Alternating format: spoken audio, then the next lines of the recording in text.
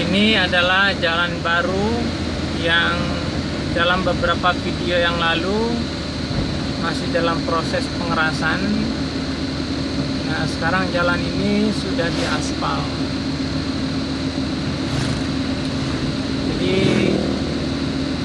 jalan ini sekarang lebih lebar daripada sebelumnya. Memang untuk saat ini yang agak kurang itu adalah marka jalan. Kalau hari siang seperti ini tidak terlalu banyak masalah, tapi biasanya nanti marka jalan ini akan sangat diperlukan di malam hari. Karena kadang-kadang kita agak sulit untuk memprediksi tepi daripada jalan ini dan di bagian mana tengahnya. Keberadaan jalan yang seperti ini sangat membantu bagi masyarakat. Cuma memang di sisi yang lain, keberadaan jalan yang sangat bagus ini mendorong para pengendara untuk melaju kendaraannya dengan lebih cepat daripada biasanya. Nah, mudah-mudahan masyarakat yang ada di kiri kanan dari jalan ini juga berhati-hati apabila mereka ingin menyeberangi jalan.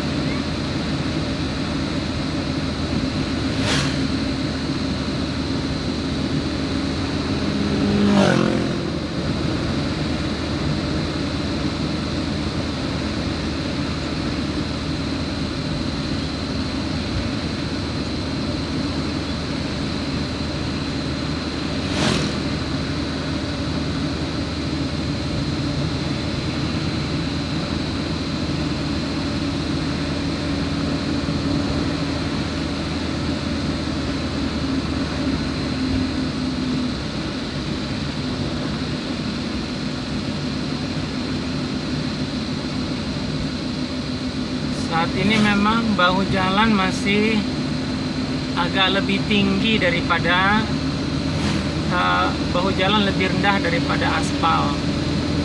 Mudah-mudahan dalam waktu yang tidak terlalu lama bahu jalan ini bisa diratakan dengan jalan sehingga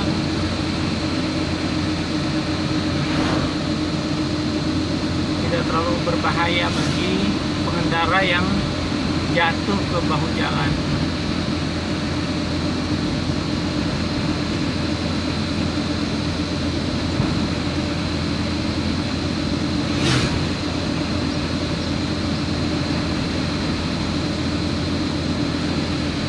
Keberadaan jalan ini sangat membantu tidak hanya bagi kendaraan roda 2 dan kendaraan roda 4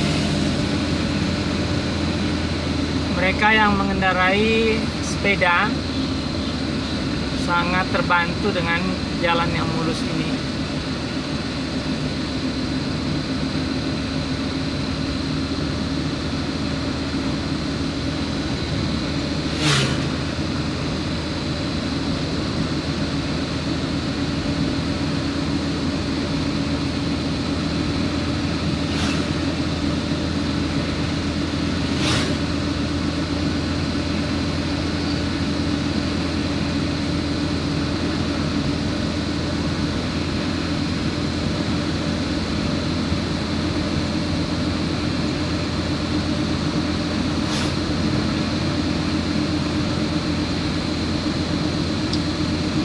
dan kualitas pengerjaan jalannya juga baik.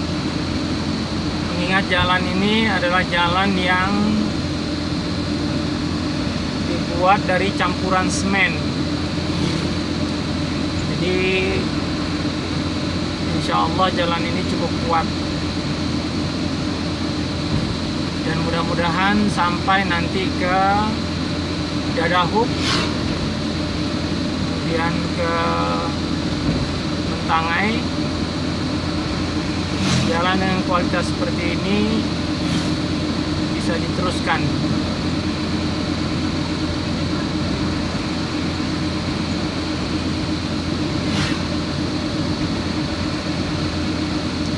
Ini adalah jalan provinsi. Jadi karena Kapuas ini termasuk daerah yang diprioritaskan. Jadi untuk tahun ini cukup panjang jalan yang mendapatkan perbaikan dan pelebaran ini.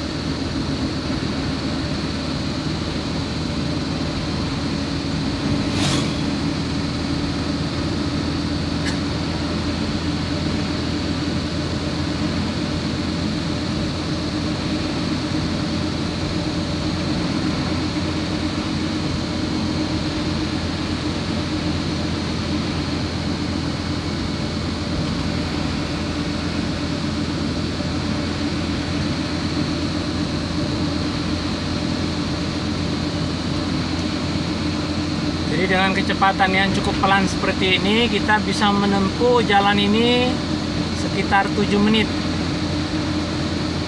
Yang kalau waktu pengerasan kemarin kita bisa menempuh jalan ini selama 12 menit. Jadi kita bisa menghemat sekitar 5 menit dari perjalanan ini. Nah, kita sudah mencapai ujung daripada perbaikan jalan. Nah, setelah jalan ini maka jalan akan kembali menyempit. Terima kasih.